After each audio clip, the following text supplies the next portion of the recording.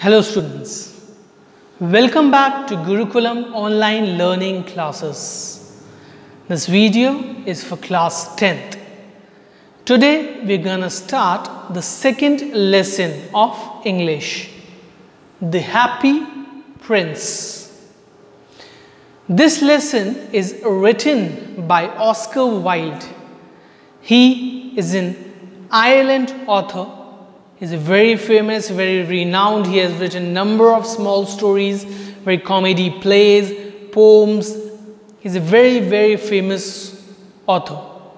His creation, The Happy Prince, is one of the best. It's a very short story which plights the condition of the society. It how selfishness takes over the good deeds. How selfishness takes over selflessness. This story is the perfect portrait of it. In this story, he describes the pathetic plight of the poor and the selfish of the rich. The story teaches people to have love and compassion for the poor and needy. It also highlights that good actions, charity, and compassion bring enduring peace and happiness. As I've told you, in this story, we will read what is the condition of poor people in a society, how rich sometimes overtake and force poor people. The story also teaches us that how selflessness, how good deeds results in peace and happiness. So let's move forward and start it start reading this lesson.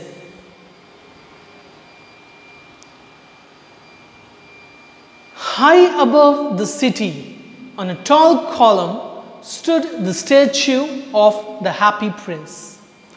He was gilded all over with thin leaves of fine gold. For eyes, he had two bright sapphires and a large red ruby glowed on his sword hilt. The story, the setting takes place in a small European village where there is this statue in the square of a happy prince. There's a statue of a prince on the square. And how is this statue? It is gilded, it is made of gold. It is gilded with leaves of fine gold. And for two bright eyes, in the place of eyes, he had sapphires, a very precious gemstone. And a large red ruby. Ruby is another very precious gemstone. And ruby glowed on his sword hilt. Sword hilt. Hilt means handle. He had a sword, and on the handle there was a red ruby. He was very much admired indeed. He is as beautiful as weathercock. He marked one of the town councillors who visited to gain a reputation for artistic tastes, only not quite so useful. He added, fearing lest people should not think him impractical, which he really was not.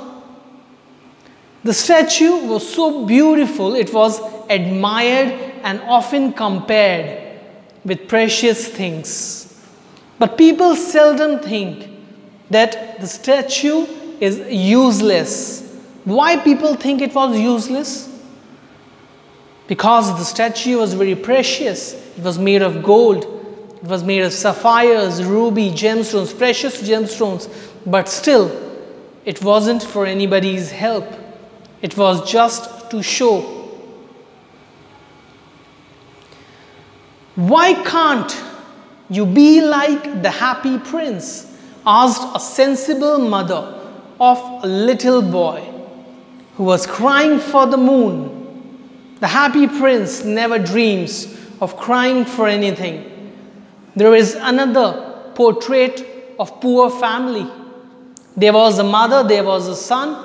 The son was crying for the moon. He wanted the moon. And the mother tells him, Why can't you be like happy prince? He was always happy, never cried for anything in his life. Why can't you be like him? I am glad there is someone in the world who is quite happy, muttered a disappointed man as he gazed at the wonderful statue. There was this another person, he was disappointed, he was sad, he was sorrowful for his life. He gazed at this statue of the happy prince, and the statue was magnificent. And he, with sigh, said that, Wow, at least someone in this world is happy. He looks just like an angel, said the charity children as they came out of the cathedral in their bright scarlet cloaks and their clean white pinafores. Candre, cathedral. It's a church building. The charity children, the children, they come out wearing their cloaks and pinafores. Pinafores is a, a cloth we have on above of the clothes. So these people, they, these children, they came out from the building and they saw the statue and they compared. They said it looks like an angel. They themselves were admiring the statue. Ah, but we have in our dreams. Sorry, how do you know? Said the mathematical master. You have never seen one. Ah, but we have in our dreams, answered the children. And the mathematical master frowned and looked very severe, for he did not approve of children dreaming. The students, they came out, the children, they came out, they saw the beautiful statue and they compared it with an angel. The mathematical master, he asked, Have you ever seen an angel? Children says, yes. They said, yes, we have in our dreams. And the master, he frowned as severe as he do not approve of children dreaming. He is not happy that the children are dreaming. This is another portrait of a society, of a place, a relationship between students and children, students and teacher, where teacher wants the children to learn only that what he is teaching, but not the imagination of them. One night there flew over the city a little swallow. His friends had gone away to Egypt six weeks before, but he had stayed behind for he was in love with the most beautiful reed. He had met her early in the spring as he was flying down the river after a big yellow moth and had been so attracted by her slender waist that he had stopped to talk to her. It's a story of another time Sometime later, a swallow, swallow is a little type of bird which is very swift, which is very fast. He was flying alone because his friends, whose friends? Swallow's friends, they went to Egypt. These birds, they migrate to warmer places and Europe is a country with severe and harsh winters. The birds cannot, some birds cannot survive in such environment. So his friends, they flown to the warmer places called Egypt. They fled to Egypt. But the bird, he stayed behind because he fell in love with another kind of bird, which was the bird reed. Swallow was flying one day after an insect and he saw this bird was there, reed. And he saw his slender, thin waist and he fell in love with this small bird. Shall I love you? said the swallow, who liked to come to the point at once. And the reed made him a low bow, so he fled round and round, her touching the water with his wings and making silver ripples. This was his courtship, and it lasted all through the summer. The swallow took the permission of reed. He asked that shall I love you? And in reply, reed agreed to it. And the whole summer they enjoyed and had a good time together. Ripple. Ripple means waves. It is a ridiculous attachment, twittered the other swallows. She has no money and far too many relations, and indeed the river was quite full of reeds. Then, when the autumn came, they all flew away. The other swallows, they did not think good of the little one. They say his love is pointless. There are a number of other reeds in the river, and reeds are do not they do not have good reputation. They flirt with everyone. Hence, they all flew away when the autumn came. After they had gone, he felt lonely and began to tire of his lady love. She has no conservation, he said, and I'm afraid that she is conquet, for she is always flirting with the wind. And certainly, whenever the wind blew, the reed made the most grateful courtesy. I admit that she is domestic, he confirmed, but I love traveling and my wife consequently should love traveling also. All of the friends of swallow they left and the little swallow he left behind lonely. He knew that his love reed, he is domestic. He loves the uh, she loves the reed loves to stay where she is, besides the river. She does not want to go any place else.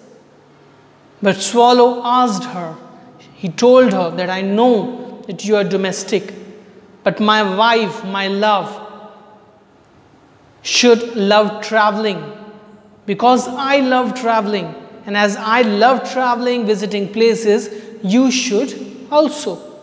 The swallow said to reed. Will you come away with me? He said finally to her. But the reed shook her head. She was so attached to her home. You have been trifling with me, he cried. I'm off to the pyramids. Goodbye, and he flew away. Swallow finally asked the reed, Will you come away with me? Will you come with me? Will you fly away with me? And the reed shook her head. He said, she said, no. And the angry swallow said he was sorrowful that her love was trifling with him and he flew away to the pyramids. Pyramids means Egypt. All day long he flew, and the night time he arrived at the city. Where shall I put up? He said. I hope the town has made preparations. Then he saw the statue on the tall column. I will put up there, he cried. It is a fine position with plenty of fresh air. So he alighted just between the feet of the happy prince. So the bird swallow, he fly and fly all day long. He just got tired and he decided that he should rest for the night. And he saw, he came to this European village where was this statue of happy prince and the bird decided that I should rest at the feet of the statue of happy prince. I have a golden bedroom, he said softly to himself as he looked around and he prepared to go to sleep.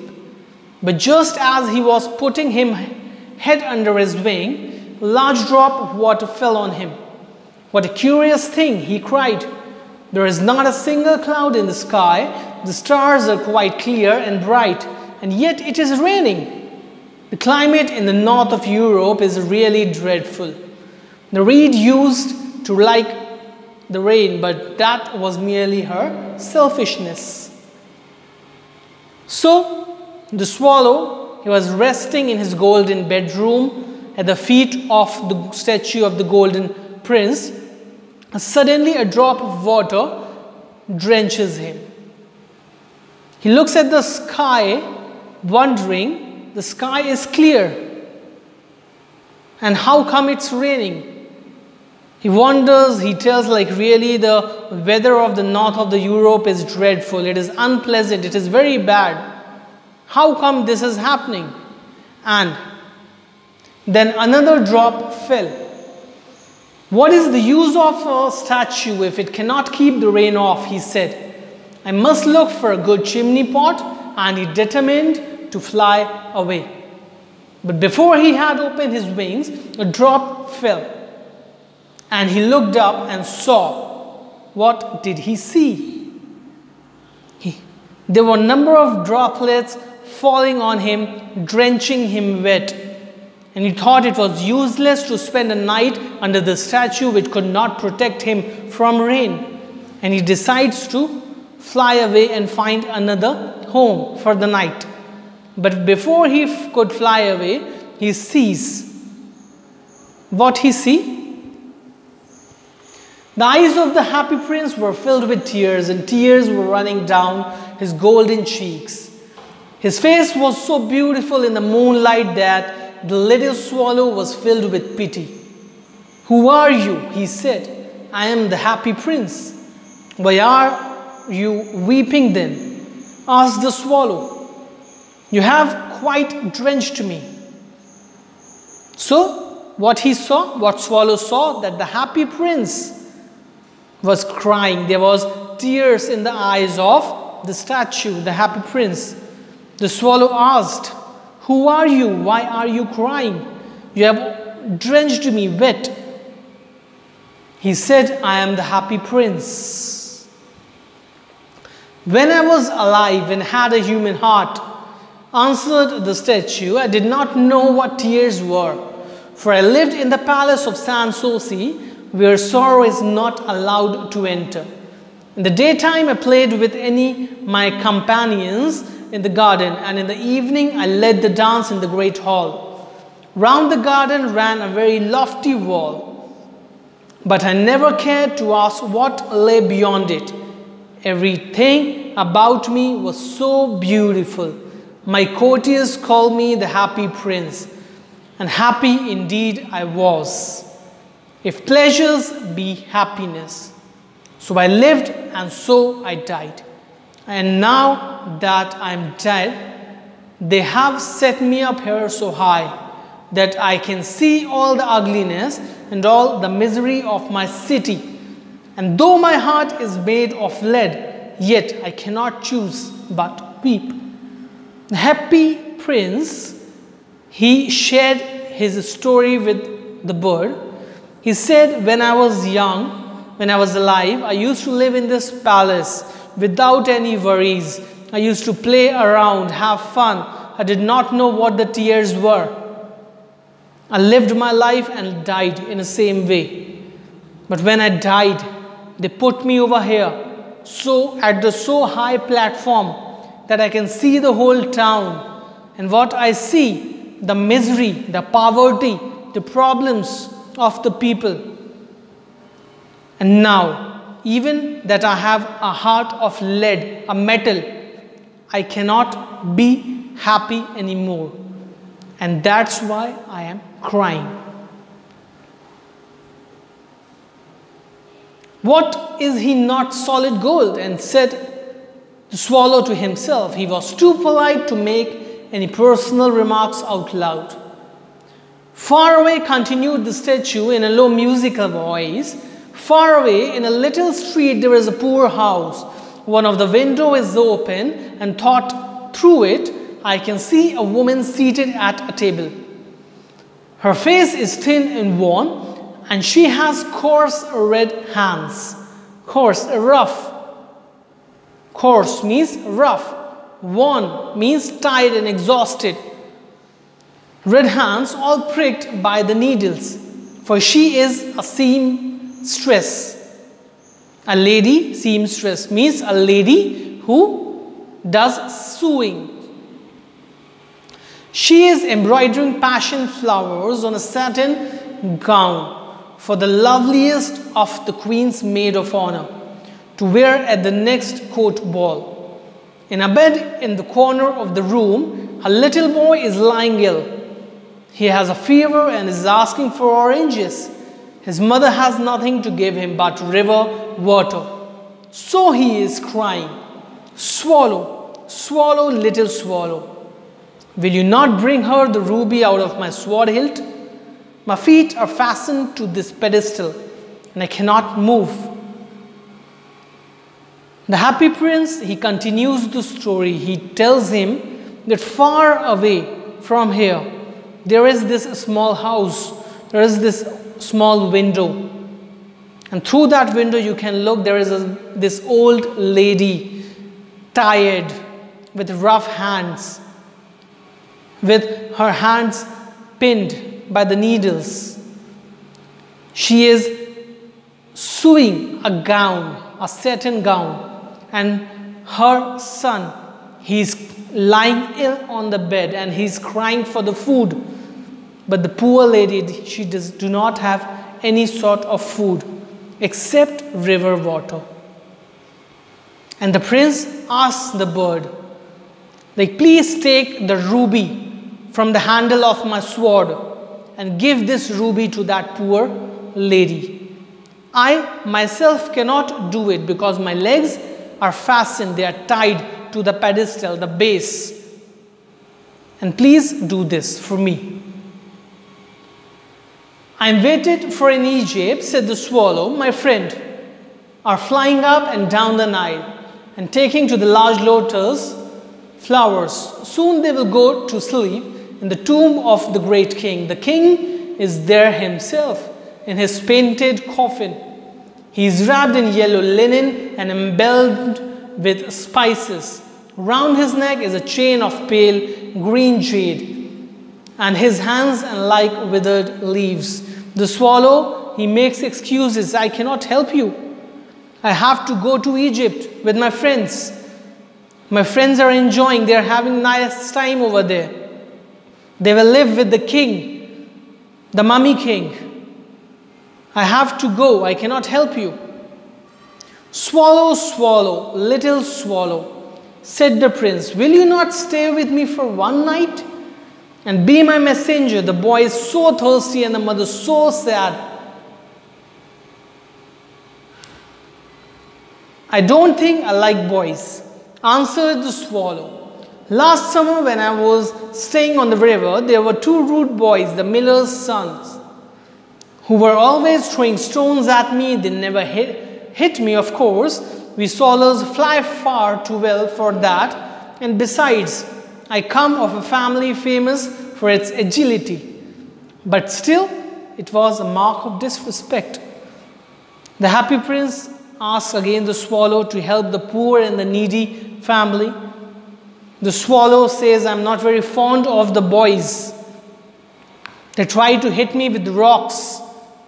Though I am fast and quick enough to get hit, but still it is disrespectful. So I'm not very fond of helping boys.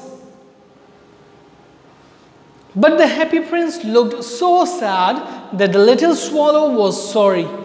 It is very cold here, he said, but I will stay with you for one night and be your messenger. Thank you, little swallow, said the prince. So the swallow picked out the great ruby from the prince's sword and flew away with it in his beak over the roofs of the town. The swallow said, But it is cold over here, it is, it is a very cold night, but I will definitely help you for a night. For a night, I will be your messenger. And he took the ruby and he flew away towards this poor family. He passed by the cathedral tower where the white marble angels were sculptured. He passed by the palace and heard the sound of dancing. A beautiful girl came out of the balcony where, with her lover. How wonderful the stars are, he said to her, and how wonderful is the power of love. I hope my dress will be ready in time for the state ball, she answered. I have ordered passion flowers to be embroidered on it, but the seamstress are so lazy. He passed over the river and saw the lanterns hanging to the mast of the ships. He passed over the ghetto and saw the old Jews bargaining with each other and weighing out money in copper scales. At last he came to the poor house and looked in. The boy was tossing feverishly on his bed, and the mother had fallen asleep. She was so tired, and he hopped and laid the great ruby on the table beside the woman thimble. Then he flew gently round the bed, fanning the boy's forehead with the, his wings. How cool I feel, said the boy. I must be getting better. And he sank into the delicious slumber. While the swallow, he flew over the city, the town, he saw a number of things which shows, which portrays the condition of the society. He flew over an educational building, a beautiful building with marbles and angels sculptured. Then he came to a ball room where the people were dancing, they were happy, they were in love, they were, dan- uh, they were happy with each other, and still criticizing poor people. He saw a dock where these people were bargaining things from each other and they still were very rich. And then the swallow, it comes to the house of that poor family where the boy was starving. He had a fever and he was tossing in his bed. He finally kept the ruby on the table besides the woman. He fanned, he gave some air, he fanned the boy's forehead and somehow it gave boy some relief and he slept. Then the swallow flew back to the happy prince and told him what he had done. It is curious, he remarked, but I feel quite warm now, although it is cold. The swallow, he went back to the happy prince and he told everything, whatever he saw. The prince was curious but a little warm in that cold night. So I hope you understood the story till now. In the story, we have read about this prince who was very happy at first when he was alive, when he did not know anything about the misery and the poverty of the society, the condition of the poor. And when he died, when his statue gilded statue with gemstones was put up on the square and when he can, when he can see the condition of the society, he felt miserably. And this swallow bird came to him. He asked for the help, and the bird took one of the gemstone from the sword hilt of the statue and give it away to this poor family. We will continue this story in our next part. I would ask you to read this story once again. If you have any problems regarding any difficult words, underline them, search it in the dictionary. Till then, goodbye, be safe, be at home.